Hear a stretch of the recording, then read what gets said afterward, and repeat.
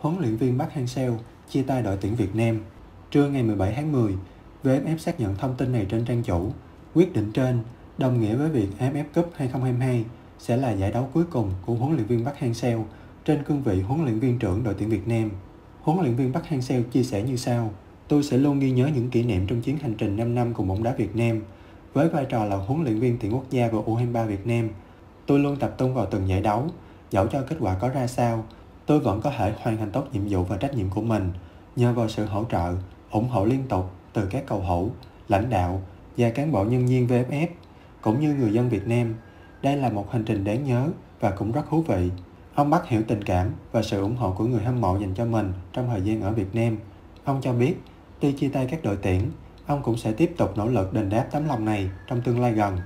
Về phần mình, VFF trân trọng gửi lời cảm ơn đến huấn luyện viên Bắc về những nỗ lực và đóng góp của ông trong 5 năm qua.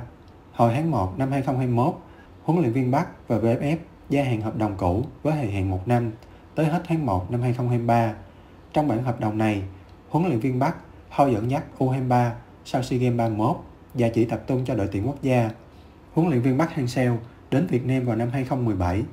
Trong 5 năm phụ trách các đội tuyển quốc gia và U23, huấn luyện viên Bắc giúp bóng đá Việt Nam không chỉ ghi dấu ấn ở khu vực mà còn ở cả châu lục.